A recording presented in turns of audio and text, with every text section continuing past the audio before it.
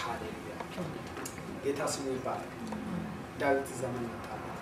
ለብዙ ዓመት ቢሰደድም ዛሬ ግን ምን መጥቶለት? ዘመን መጥቶለት ምርኮ በሙሉ ለእርሱ የሚሰጥበት እግዚአብሔር ያለው ነገር በሙሉ የሚፈጸምበት ምን መጣ? ዘመን መጣ። ይህን ዘመን ያመጣው ምንድን ነው? ማንን ሰማ? ጌታ ስሙ የተባረከ ማንን ሰማ? እግዚአብሔርን ሰማ። ስለዚህ የሚቀና መጽሐፍ ቅዱስ ሲናገር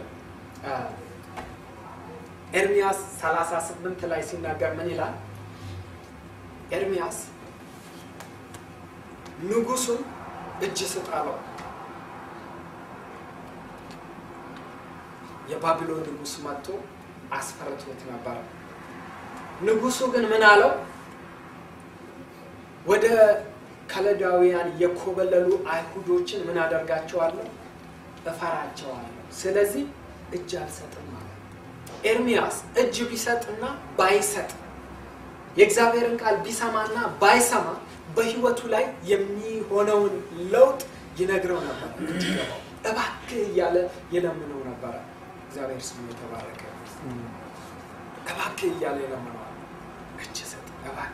እኔ የምልህን የእግዚአብሔርን ቃል ስማ፣ ይቀናል፣ ነፍስም በህይወት ትኖራለች። እግዚአብሔር ስሙ የተባረከ ነው።